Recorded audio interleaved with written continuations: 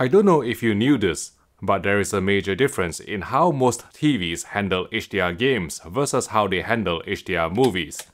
You see, when you play an HDR movie, there is usually embedded metadata if it's been correctly produced,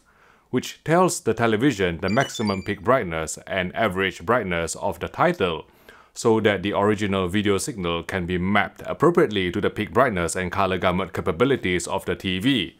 This is a process known as tone mapping. However, things are entirely different when playing HDR games. Here, I'm playing Ratchet & Clank Rift Apart on the Sony PS5 console, and as you can see for yourself, the ST2086 HDR10 metadata, namely Max DML or Maximum Display Mastering Luminance,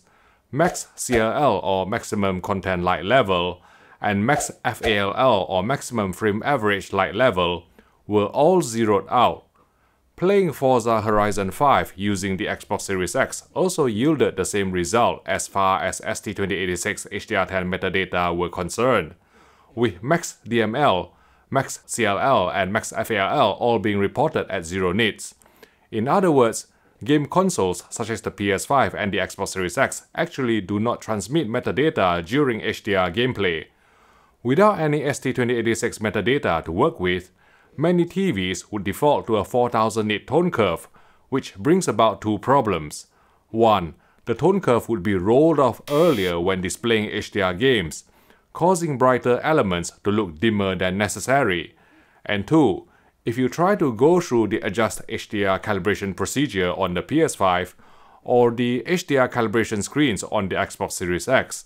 a 4000 nit tone curve will push you towards exceedingly high maximum tone map luminance and maximum full frame tone map luminance values, resulting in a more washed out HDR presentation with clipping of bright highlight detail in HGiG compliant games.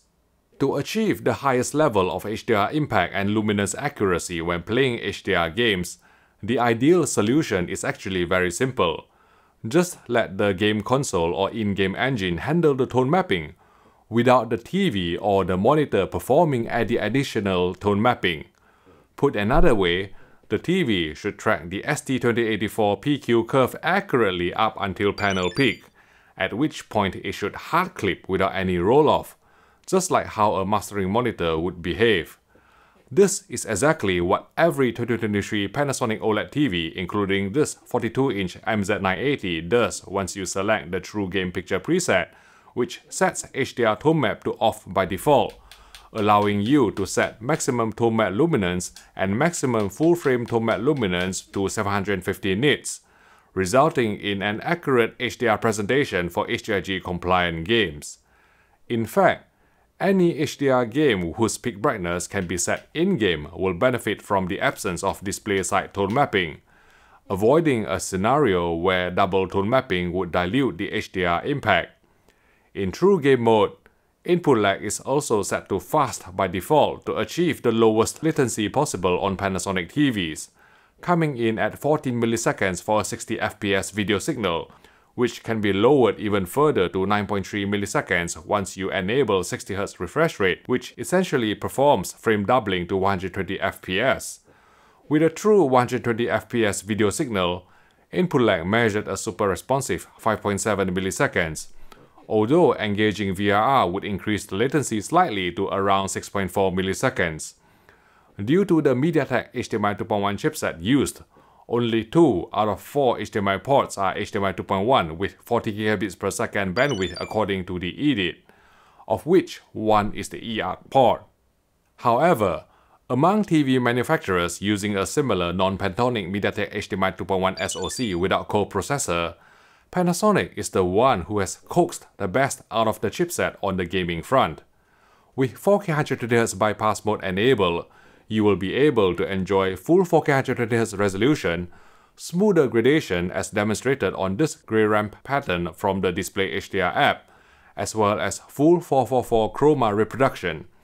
Besides HDR luminance accuracy, Panasonic's True Game Mode also respects the D65 white point, unlike the default game mode implemented by many other TV brands, which is normally far too blue out of the box, therefore deviating from the creative intent. To demonstrate, Here, I've set up the Panasonic MZ980 OLED beside one of the LG OLEDs which have been very popular among gamers, using a Sony BVM HX310 mastering monitor as reference. Once I reset the True Game and Game Optimizer modes on the Panasonic MZ980 and the LG C3 respectively back to the factory default settings, you can see that the MZ980 came much closer to matching the Sony HX310 in overall brightness and colors, whereas the LG C3 appeared far too garish and blue compared to reference. In fact, Panasonic's True Game mode can be thought of as a filmmaker mode for playing games with outstanding color accuracy but significantly lower input lag. Furthermore, True Game Mode can be calibrated using Portrait Display's Calman calibration software, after which the picture preset will be marked by a Calman logo. Now, some of you gamers out there will be skeptical about whether accurate colors are actually needed for playing games.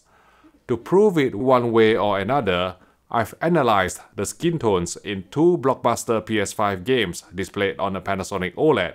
and you can find out the results by clicking here.